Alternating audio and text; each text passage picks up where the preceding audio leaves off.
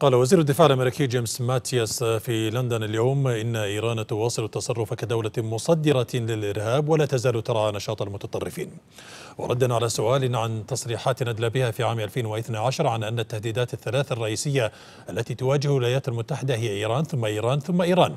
قال ماتياس إن سلوك إيران لم يتغير منذ ذلك الحين. وأضاف في الوقت الذي تحدثت تحدثت فيه عن إيران كنت قائدا للقيادة المركزية الأمريكية وكانت إيران المصدر الرئيسية للإرهاب وهي تواصل هذا السلوك حتى اليوم.